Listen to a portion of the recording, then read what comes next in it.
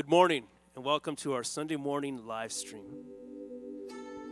This morning, I'm going to encourage you join in, worship Him, lift up your hands, Lord. Lift up your hands to Him no matter where you are, for He is worthy of all our praise. Heavenly Father, we love you, Lord, and we thank you so much for your faithfulness, Lord. And we pray that this morning, Lord, you would show your faithfulness once again, Lord. We cry out to you. And we just want to tell you that we love you so much, Lord. Speak to our hearts this morning, Lord, as we seek your truths in your word. Lord, we love you. In your precious name we pray.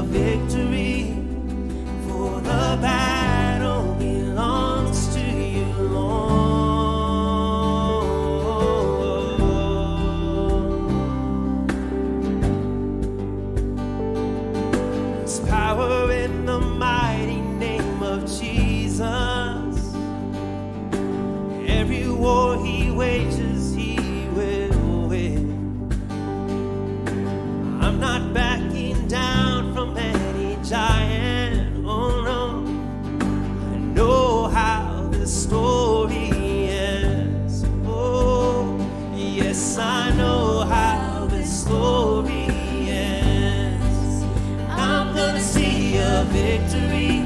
I'm gonna see a victory.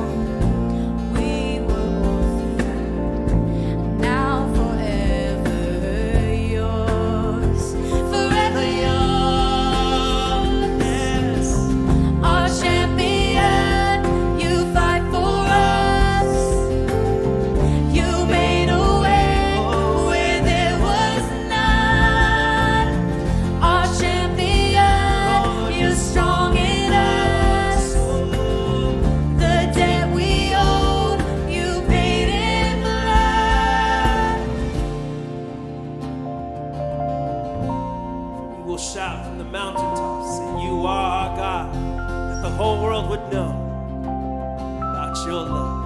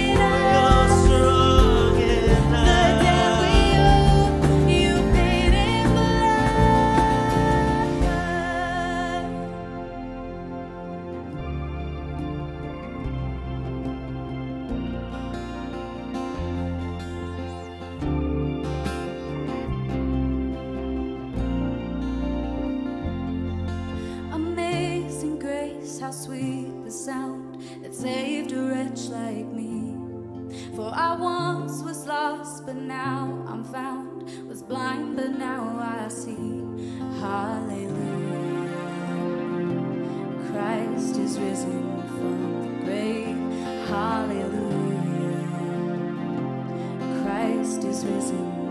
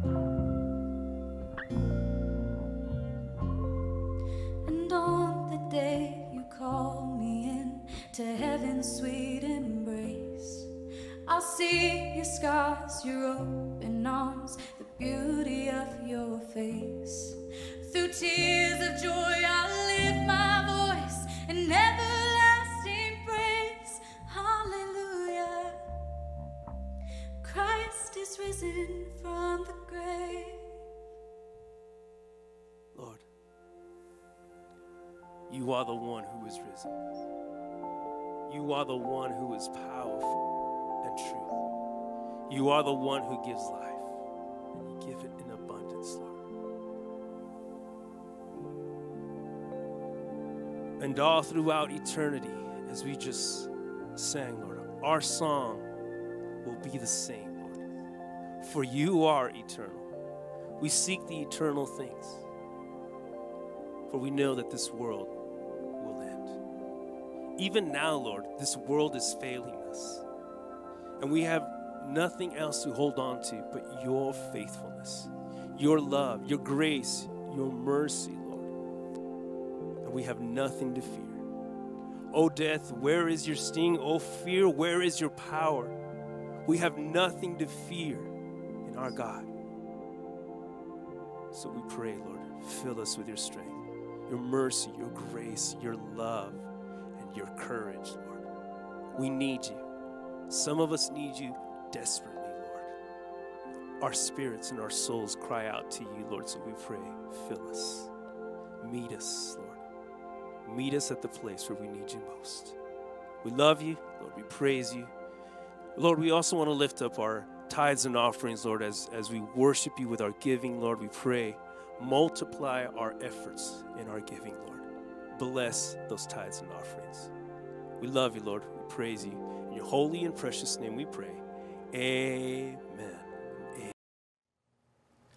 Hi, everybody. Just a few announcements before we begin our Bible study.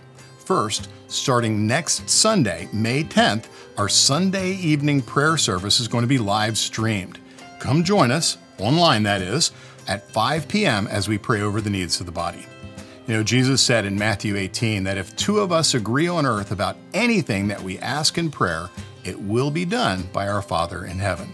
He didn't say we had to be in the same room, just on earth. So come join your pastors and elders as we pray over the needs of the body. And you'll have an opportunity to submit your own prayer requests via live chat and hear the pastors and elders pray over your needs. All you have to do is sign in to the YouTube channel to join the chat. Again, that's every Sunday at 5 p.m. starting May 10th. Now, a few weeks ago, we had our pastor's live Q&A at our Sunday evening service. I've heard from so many people that you really enjoyed that informal time together. I'll let you in on a little secret. Your pastors had a great time too.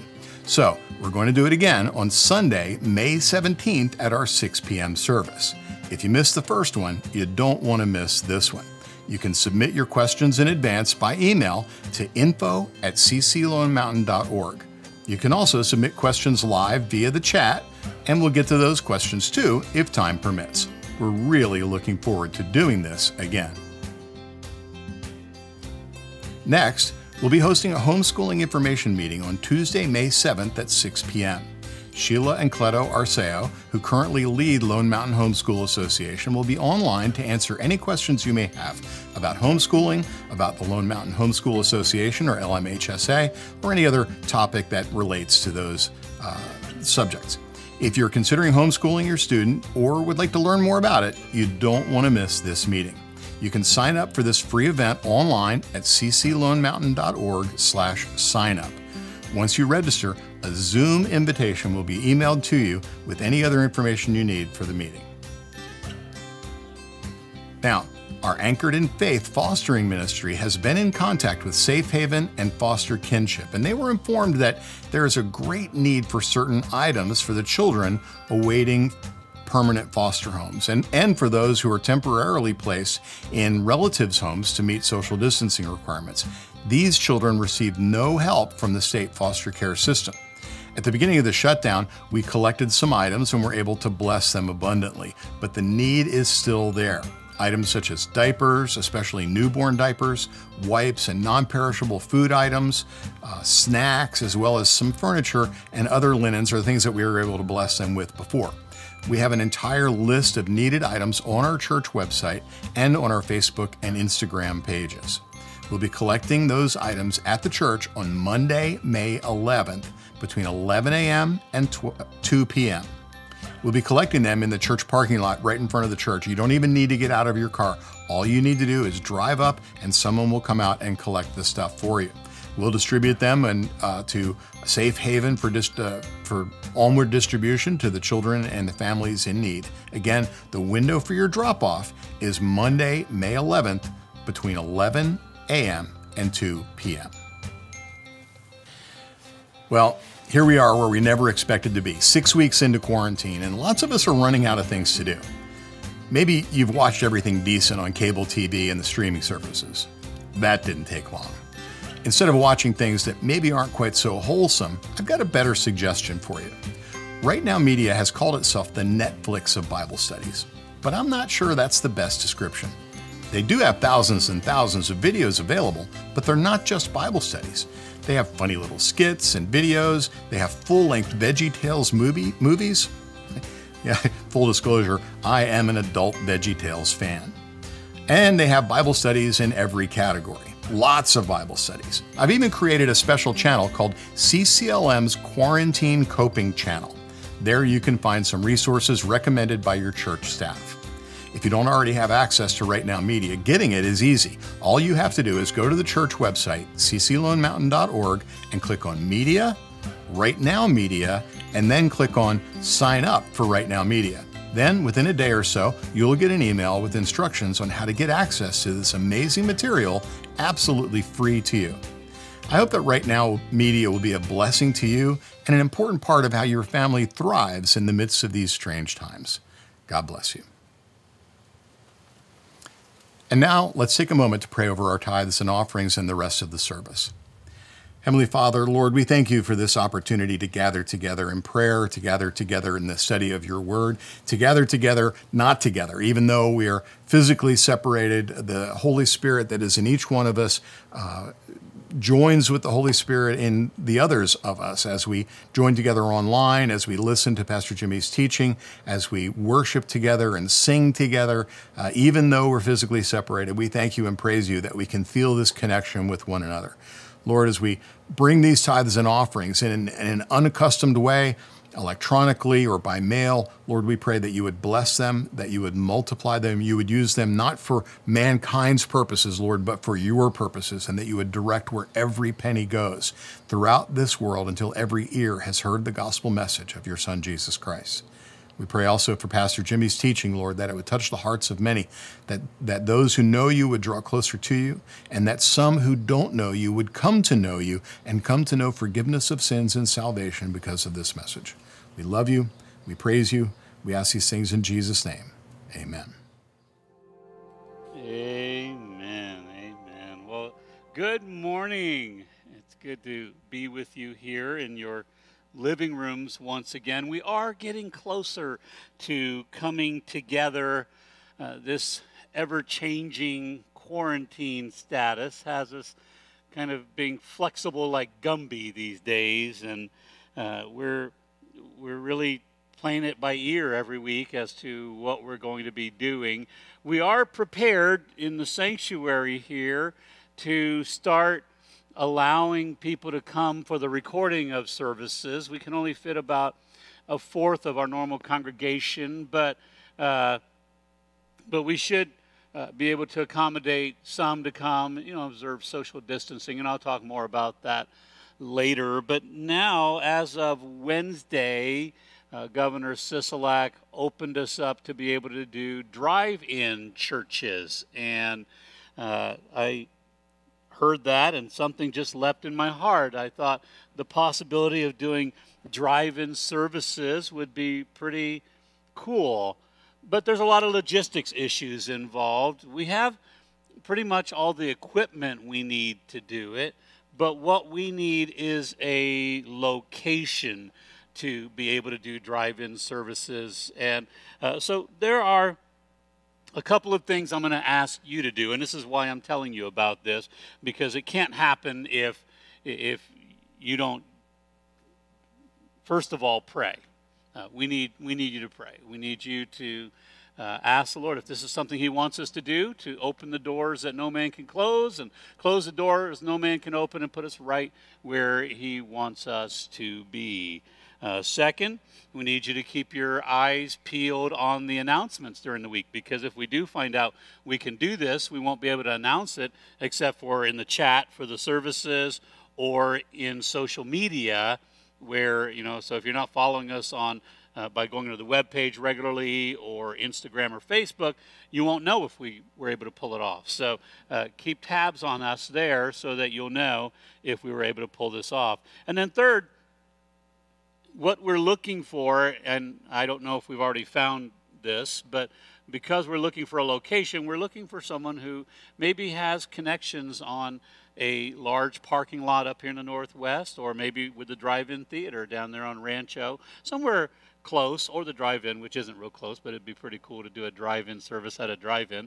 Uh, but we need a place where we can gather and still maintain 10 feet of distance between our cars. I still have not quite understood that idea of 10 feet of distance between the cars, since we can get out of our cars and be six feet apart and be observing safe social distancing why do we need 10 feet between our cars? I think it's because maybe cars are more contagious than people when it comes to coronavirus. I, I don't know uh, what the science is behind that, but hey, you know, I'm not ready to pick that fight yet, so I'm going to kind of chill out. Uh, I do ask not that you don't everybody call in and make suggestions on uh, you know your ideas of how we can meet in an empty lot that we don't know who owns or uh, how we can meet you know, on the side of the road or something like that, or somewhere where we're going to get trespassed off. Uh, if you, you have legitimate connections with some way to get us into a large parking lot in this area, that would be great. But uh, don't just, you know, send in hundreds of suggestions on how we could just do it in our church parking lot. Uh, I believe me, I have thought hard about that, and there's just not really a, uh, an efficient way to do that.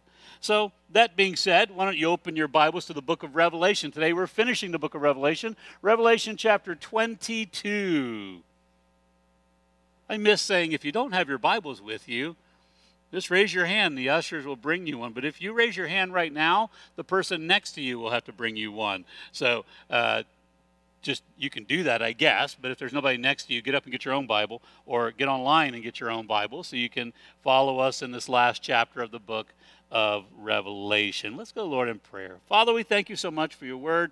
We thank you for this incredible study we've had in the book of Revelation. Lord, you have shown us so much, and I pray that today would be no different, that you would continue to open our eyes to give us understanding of the things that you have in store for us, the things that you're doing for those who love you.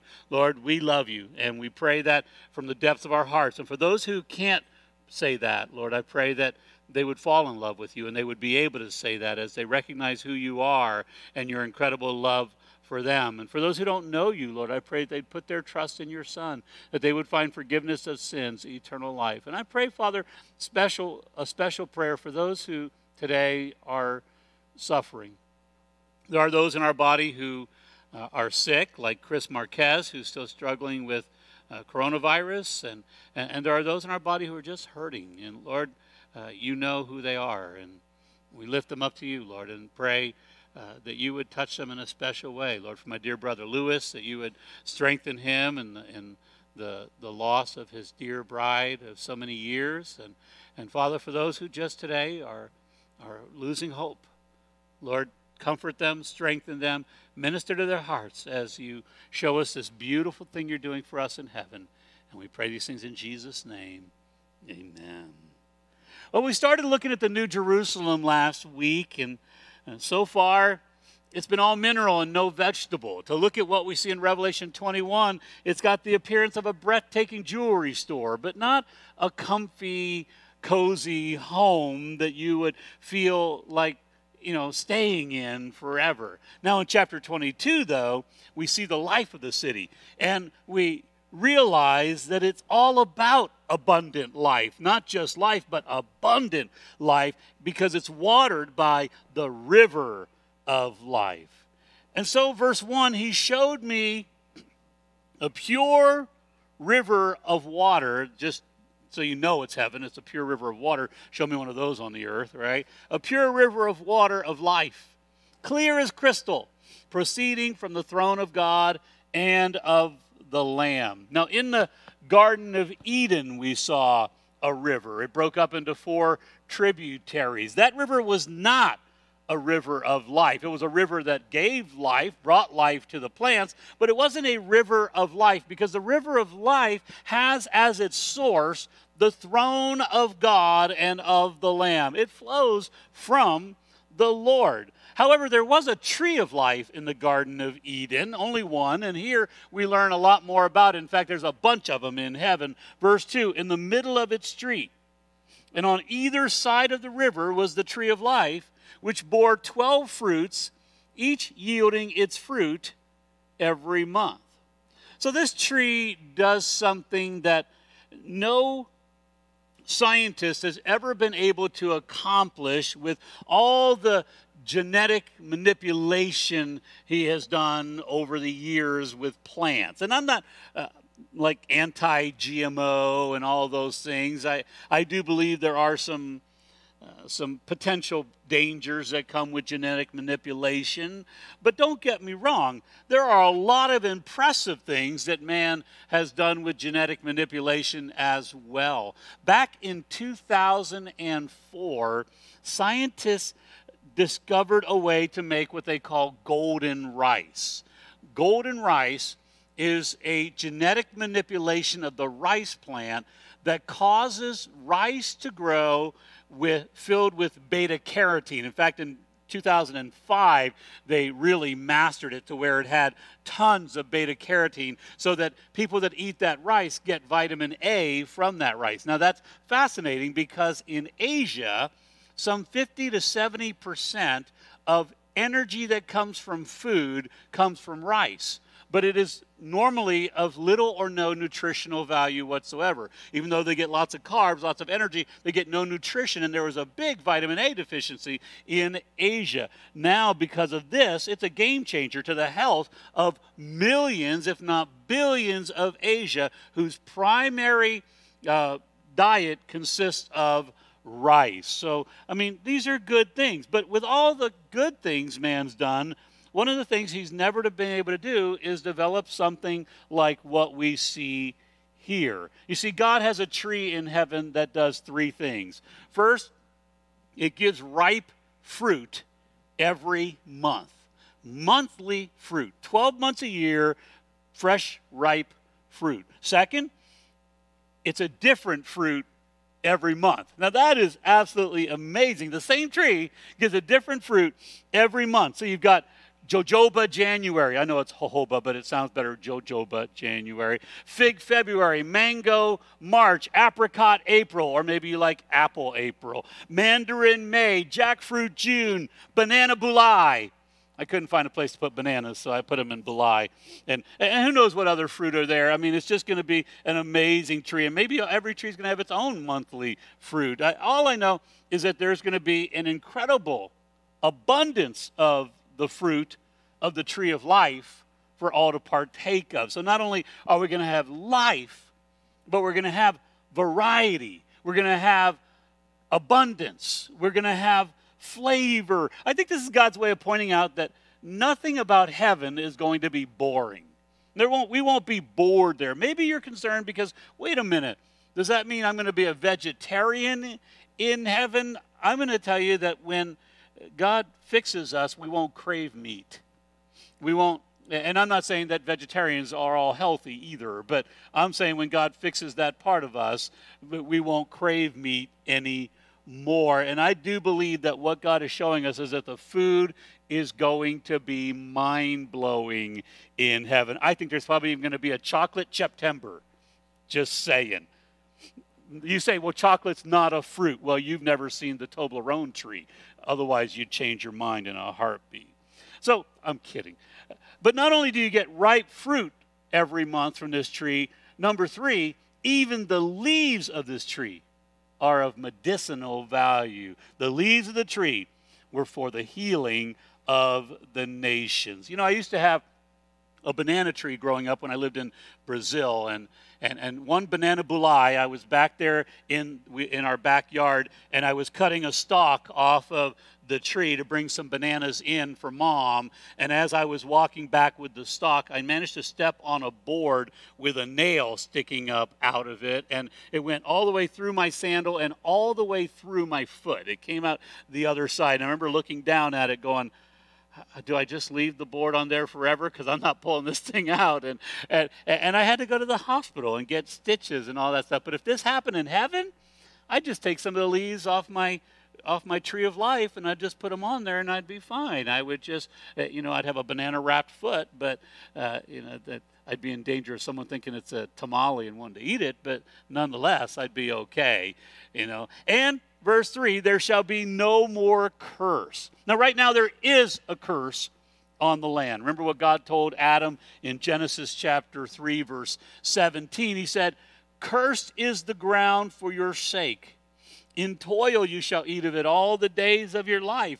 Both thorns and thistles it shall bring forth for you, and you shall eat the herb of the field. Now, you know, it's springtime, and my grass has never looked better.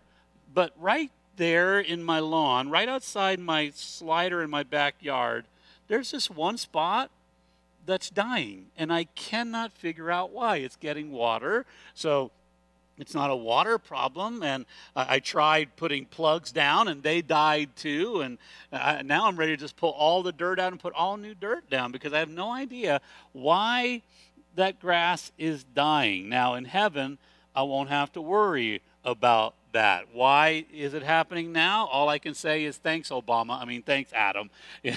You know, in heaven, whatever you plant is going to grow beautifully, and, and no weeds will grow around it because the curse will be gone. But notice it's not just the curse on man, it's the curse on mankind and the curse on women. There is no more curse. We will finally be whole and healthy once again.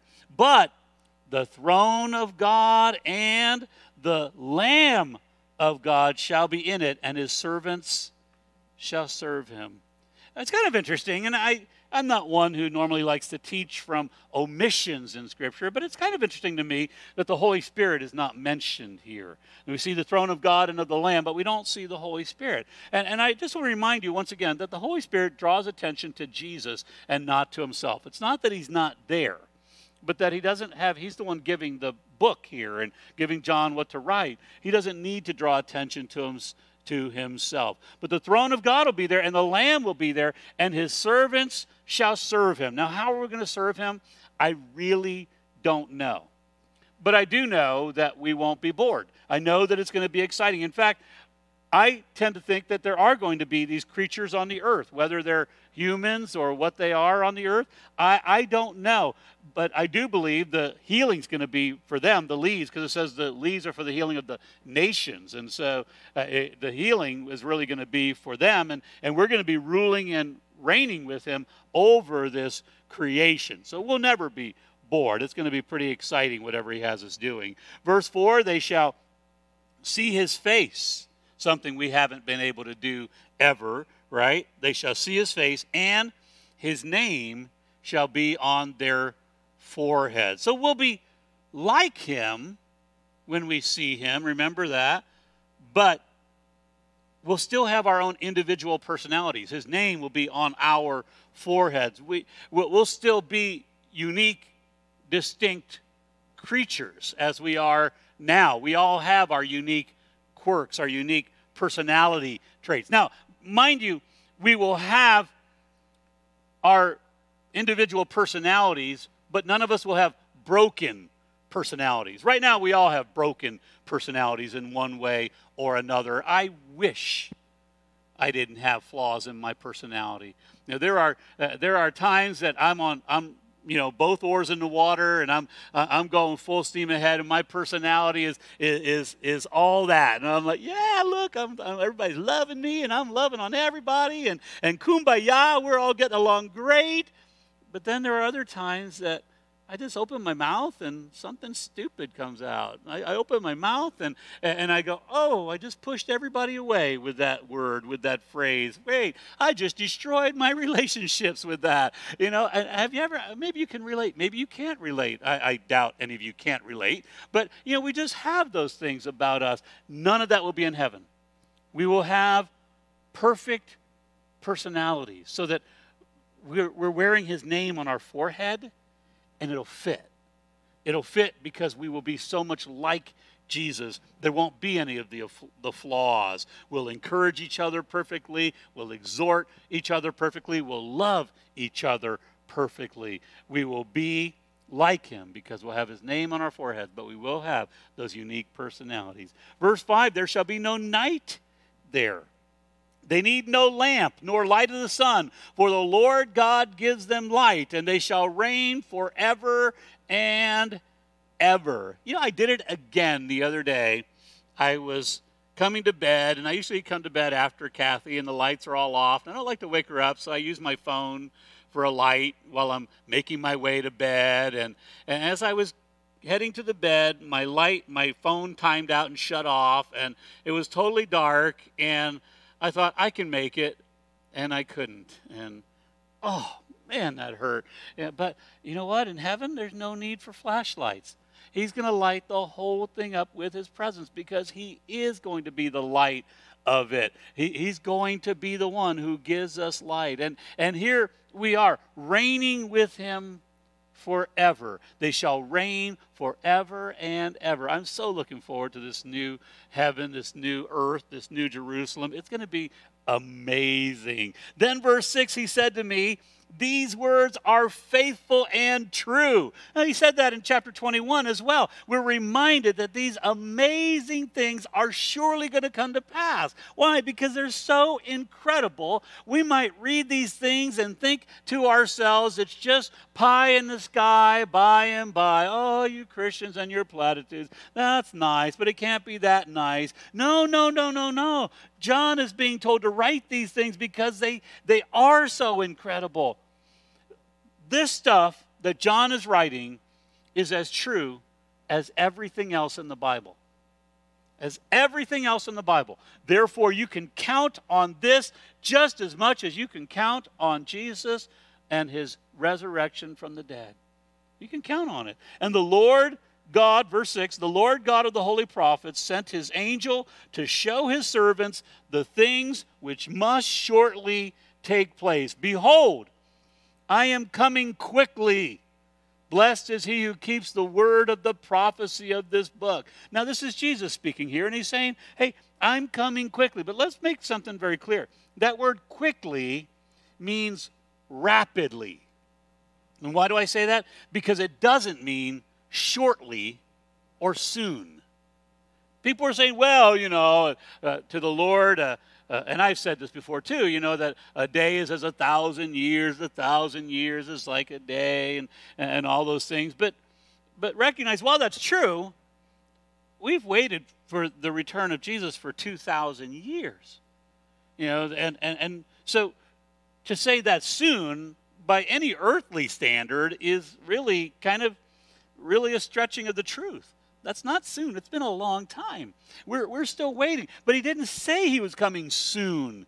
He said he was coming, he's coming quickly or rapidly. In, in other words, what he's saying is that when this series of events begins to take place, it's all going to cascade. What series of events? Well, we saw this series of events in the book of Revelation. We've been talking about it in these prophecy update services for the last few years.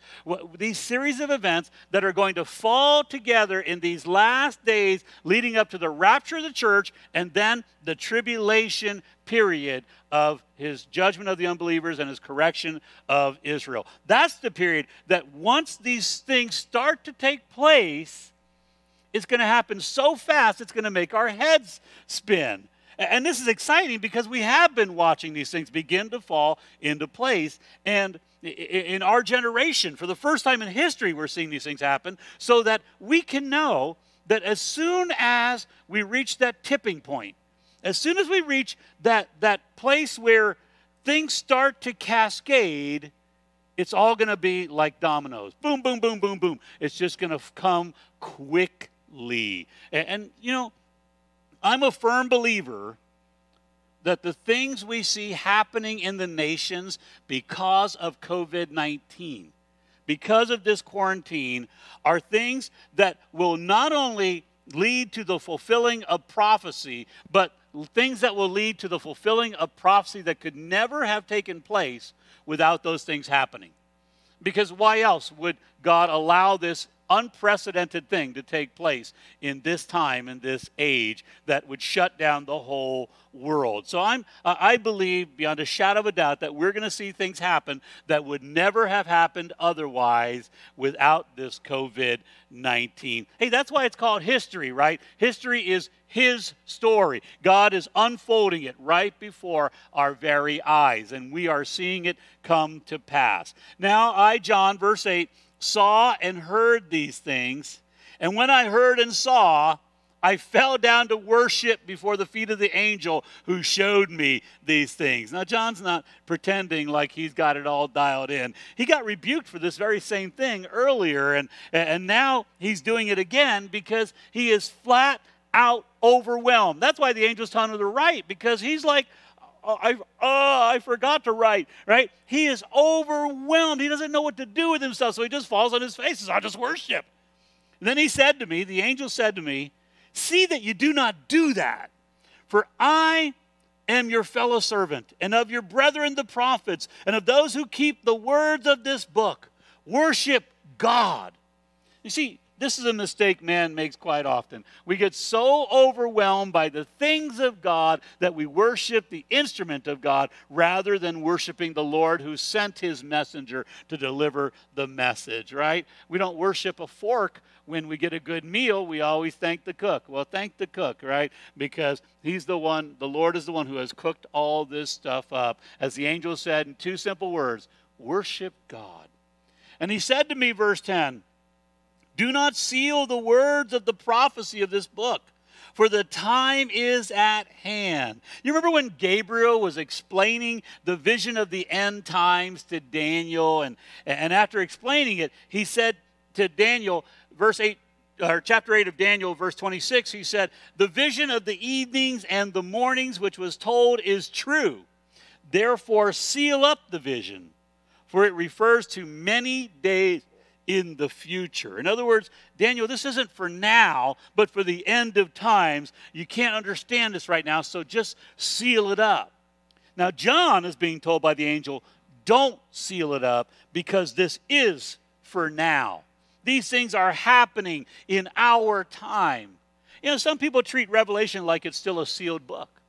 Be, and they treat it as a sealed book because they can't understand it. I'm going to tell you that the reason they can't understand it, the reason they struggle with it, is because they attempt to spiritualize it so it makes no sense to them. Here's a simple approach to studying any scripture. When the plain sense of scripture makes sense, seek no other sense, or the result will be nonsense. It's that simple. Take it for what it says, and it makes perfect sense. There are some things that are kind of hard to understand, but it really is understandable if we just take it for what it says at face value. There's no need to seal it, just study it for what it says. Verse 11 He who is unjust, let him be unjust still. He who is filthy, let him be filthy still. He who is righteous, let him be righteous still. He who is holy, let him be holy still. Now, he's not speaking against trying to reach the lost. What he's saying is that if you choose to stay in the state you are in, you will not be static in that state. In other words, if you fight to live righteous, if you fight to be holy, You'll shine more and more as the firmaments because that's what you endeavor to do. That's who you endeavor to become. But if you choose to be wickedness, wicked, you'll grow in wickedness. If you choose to to say, well, you know, I don't want to go either way. I'm going to remain stagnant. You can't remain stagnant. That's what this is saying. You cannot stay the same. We're all changing. The question is not whether you're changing or not. The question is whether you're evolving or devolving whether you're growing in godliness or growing in wickedness, because you're going to go one way or the other, even if you're a Christian. If you're not seeking to grow as a Christian, then you can be sure you're growing in worldliness. But if you are seeking to grow as a Christian, and I hope that's why you're here now, it's because as you're doing that, you are becoming more like Christ. It's scary to me how evil the wicked will be in hell.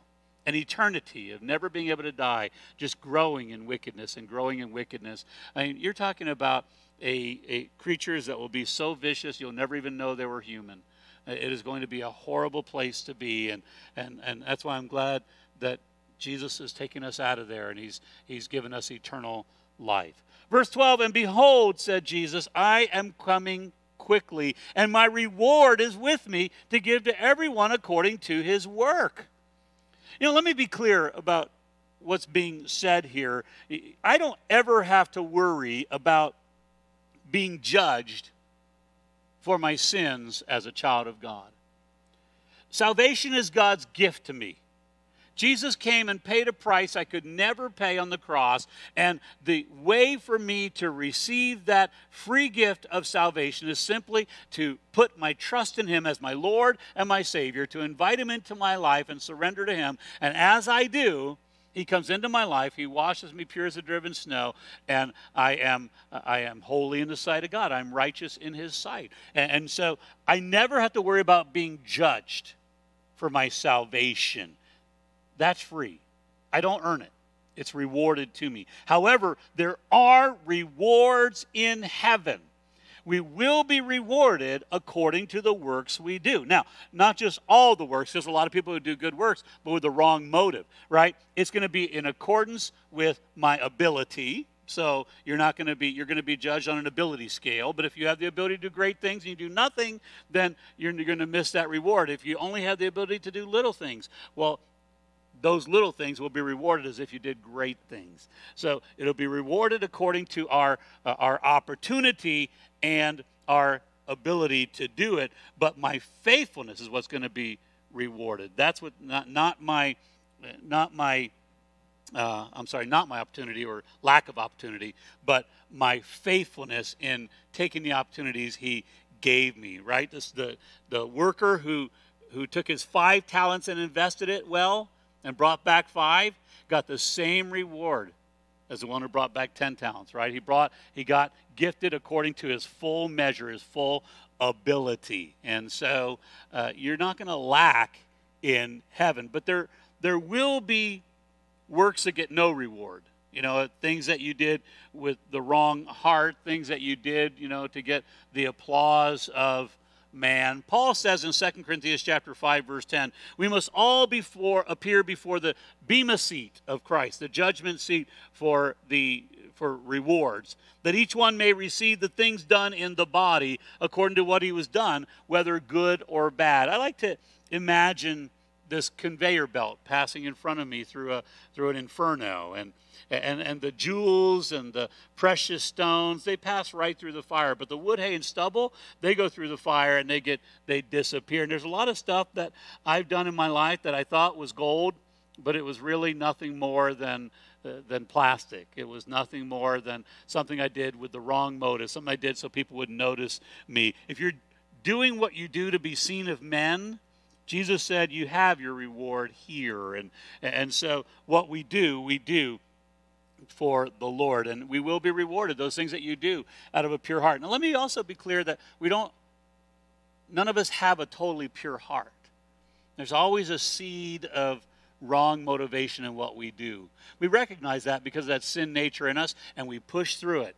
And we say, okay, Lord, this is for you. This is for your glory. And the Lord knows that and will reward that. Verse 13 I am the Alpha and the Omega, the beginning and the end, the first and the last. All attributes that are spoken of God the Father, but Jesus says they apply to him as well.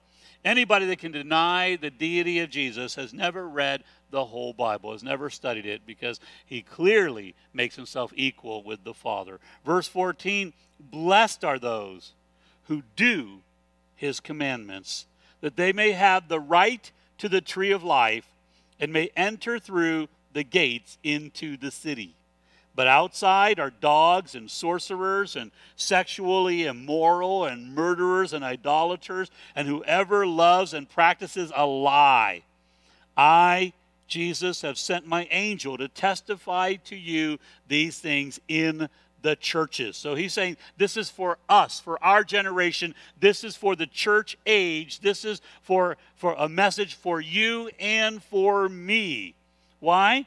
Because he wants you, he wants me to partake of the tree of life and dwell in the holy city. He wants to separate us from the dogs and the liars and the idolaters and the sorcerers and draw us unto himself. I am the root and the offspring of David, the bright and morning star. Verse 17 And the Spirit and the bride say, Come. And let him who hears say, Come. And let him who thirsts, come. Whoever desires, let him take the water of life freely. You see, this is the personal invitation from the Lord to himself. Notice it's the Spirit and the bride right? The Holy Spirit working through the church, through you and I, telling people, hey, come. Right now, I'm saying if you've never put your trust in Jesus, come. Come freely. If you're thirsting, come. Let him who hears, he said, say, come. If you hear this message and you put your trust in Jesus, go tell others to come. Invite them. Why? Because the invitation is open. If you're thirsting, Come. The water of the river of life is freely available to you and to me. You are invited to draw as close to Jesus as you want to. You know, He will never say no. He'll never turn you away. If you say, Lord, I want more of you, and you start seeking Him, He'll never say, okay, that's far enough. Until you brush your teeth, I don't want you any closer. No, no, no. He will never, ever stop you from getting closer to Him. You can get as close to Him as you want, and He will invite you closer if that's what you want. All you have to say is, Yes, Lord, I'm thirsting, and drink up, and He will draw you closer to Himself. Verse 18 For I testify to everyone who hears the words of the prophecy of this book. If anyone adds to these things, God will add to him the plagues that are written in this book. And if anyone takes away from the words of the book of this prophecy, God shall take away his part from the book of life, from the holy city, and from the things which are written in this book. I don't know who would be so foolish as to mess with the book of Revelation with a warning like this. I mean, this is hardcore. I mean, personally, I would rather teach it literally and take a chance that I was wrong than to spiritualize it and make it say something it doesn't say by adding to it or taking away from it. Because that is a hardcore warning that he gives here in verses 18 and 19. Listen, this book promises there's a great blessing just from reading it, just from hearing it read, and even greater from practicing this book. Why would I need to try to add to it or take away from it? Let's stick to the incredible blessings that we get from reading, hearing, and practicing it. Verse 20 He who testifies to these things says, Surely I am coming quickly. Amen. Even so, come, Lord Jesus. It's almost too Thousand years ago, and the Lord is surely coming quickly. And, and if you say, well, it doesn't seem very quickly, I can tell you it's more quick, quickly than it was when he said it. I can guarantee you that he is going to come soon for every single one of us. It's going to happen before you even know it. Now, some may scoff and say, Oh, you can't be sure that it's near. Oh, yes, I can. I can be sure that it's near even at the door. Because even if you get another 50 or 70 or 80 or 100 years in this life, it's nothing but a vapor in light of eternity. He's coming soon. I believe he's coming in our generation. I believe we're the generation that's going to see him face to face, and we need to live like he's coming back. The grace of our Lord Jesus Christ be with you all. Amen. What a wonderful way to end this book to end on his grace. The grace of our Lord Jesus Christ be with you all. So we close on this note on the river of life, and we saw the river source flowing from the throne of God, bringing life to all in its path. We see the river shores, which are teeming with life, the tree of life that not only gives you life, but it gives you life abundant. It's got different fruit every month, and and and, and chocolate September is going to be my favorite. I'm looking forward to that one. But but it's going to be the most amazing tree in the world, and the river succored, and I use that word because it starts with an S, but it's those who are helped, those who are comforted by it, those who are given life by it. And that's you and me who are Children of God, listen, if you thirst, come and drink freely of the river of life because God wants to bless you with that. And He wants to bless you with abundant life in this life and in the life to come. Let's pray. Father, we thank you for your word. We thank you for your incredible blessings upon us. And, and, and Lord, we pray that you would be so glorified in us. As we close this study, Lord, that, that you would minister in power first to those who've never put their trust in your Son. Lord, draw them to yourself. Grant them eternal life, forgiveness of sins. As they put their trust in Jesus, as they believe on Him. Now, as you remain in an attitude of prayer, with your heads bowed and your eyes closed, if you're a believer, I'd like you to just be in prayer for those that I'm talking to. But if you've never put your trust in Jesus as your Lord and Savior, listen, we're about to take a communion together. In fact, Rachel, thank you. I'll take that out of your hands. And and as we take a communion together, we recognize that the Lord has made us a family, that He's brought us together as one. And This is family time. But if you're not a believer in the Lord Jesus Christ, you're not family. And that's not to put you down. That's just to let you know where you're at and to invite you to become family. Because really, the key to adoption, the key to being part of the family, is to put your trust in Jesus as your Lord and Savior. The Apostle Paul wrote in Romans chapter 10 if you confess with your mouth the Lord Jesus Christ and believe in your heart that God raised him from the dead, you will be saved. And when he says you'll be saved, what he means is that your sins will be forgiven. You'll be as pure as a driven snow in the sight of God. You'll be a child of God. You'll be a part of the family. And I'd love to lead you in a simple prayer to, to confess Jesus Christ as your Lord right now. If you'd like to take that step of faith, I'm going to pray a prayer. I'm going to invite you to repeat it after me. Make it your prayer because you believe it's true. And I'll pray slowly so you can follow along, but let's pray this prayer together. Dear Lord Jesus, I believe you died on the cross for me. I believe you paid a price I could never pay. And you made a way for me to spend eternity with you. Lord Jesus, come into my life. Forgive me, for I'm a sinner. Cleanse my heart. Make me new.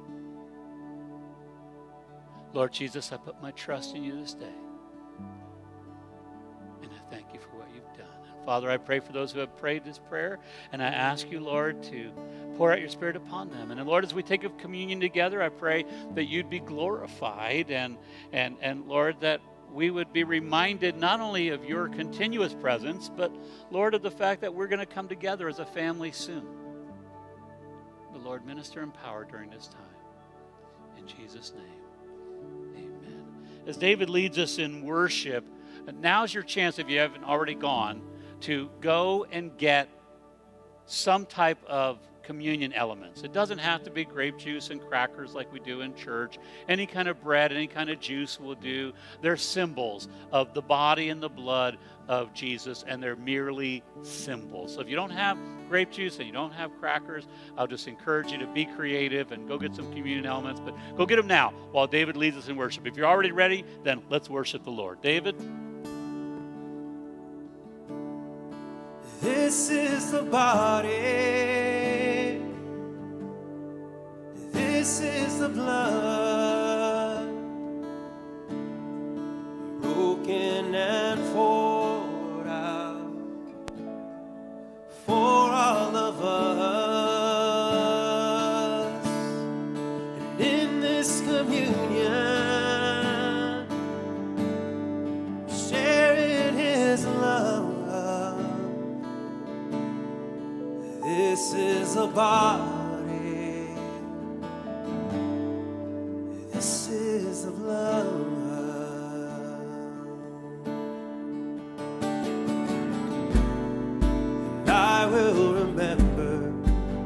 everything, Lord, that you've done for me. I won't take for granted the sacrifice that set me free.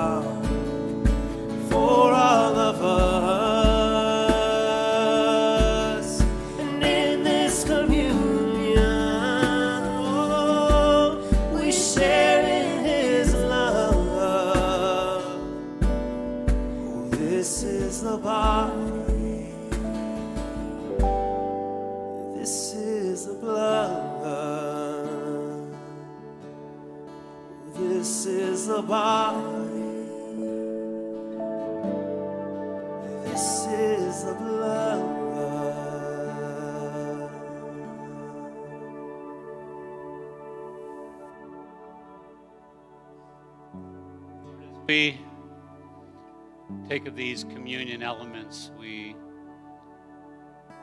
are reminded, Lord, that any suffering we might endure in this life, it doesn't compare to the suffering you willingly endured on our behalf. Lord, you paid a price we could never pay. You suffered beyond anything we'll ever understand this side of eternity. Lord, as we remember that love with which you loved us, as we remember that great price you paid, I pray, Lord, that none of us would take it for granted. That this wouldn't just be the ceremonial taking of some bread and some liquid, but Lord, this would be your body broken for us and your blood poured out for us in our hearts, Lord. That we would recognize the significance of your body being part of our body and us being one because of what you did, of your blood making us whole and healing us, Lord. Father, be glorified in us. Lord, minister in power.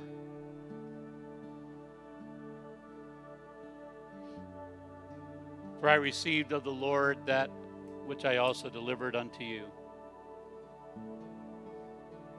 That the Lord Jesus, on the same night in which he was betrayed, took bread. And when he had given thanks, he broke it and said, Take, eat. This is my body, which is broken for you. Do this in remembrance of me. Let's take up the bread together.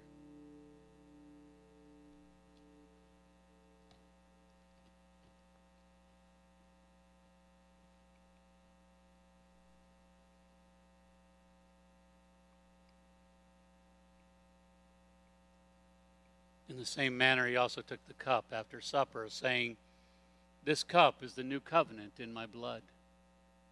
Do this as often as you drink it in remembrance of me. Let's take up the cup together.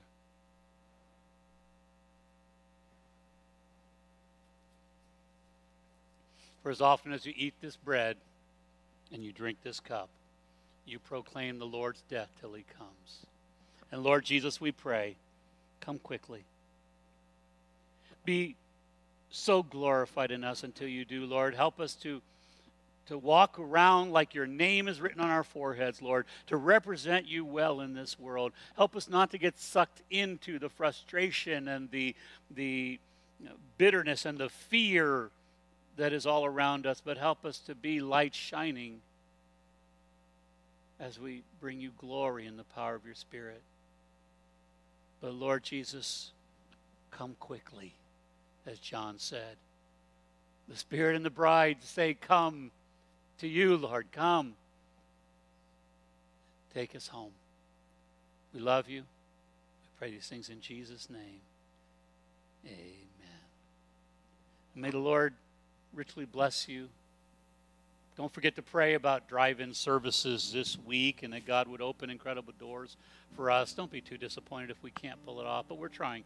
We really are. And if we can, uh, you know, we will definitely do it, and it'll be incredible. Next week, whether we're here or there or in the air, well, I guess if we're in the air, we won't have to, but whether we're here or there next week, we'll start a study in the Gospel of Luke. So your homework is to read chapter 1, actually, read the first two chapters of the Gospel of Luke, and we will start that next week. Lord bless you and keep you. David, let's call it a day.